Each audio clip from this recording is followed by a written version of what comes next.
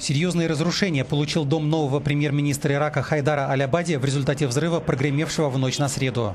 Террорист-смертник взорвал себя у пункта пропуска в здание. Информации о пострадавших нет. В других районах Багдада 17 человек погибли при взрыве двух заминированных автомобилей. Они разрушили дома и магазины. За что нам такое наказание? В чем виноваты невинные дети?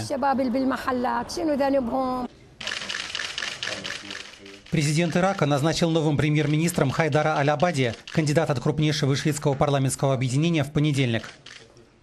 Его предшественник Нури Аль-Малики, не желавший покидать пост премьера, дал приказ войскам не вмешиваться в происходящее. Между тем, Соединенные Штаты направили в Ирак еще одну группу военных советников. По словам представителей Пентагона, им предстоит оценить объем гуманитарной помощи, в которой нуждаются тысячи беженцев.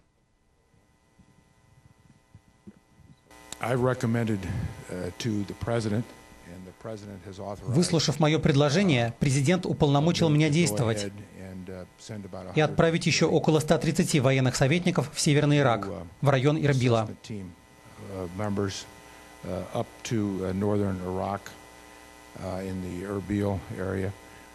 Соединенные Штаты также продолжили поставки вооружения иракским курдам.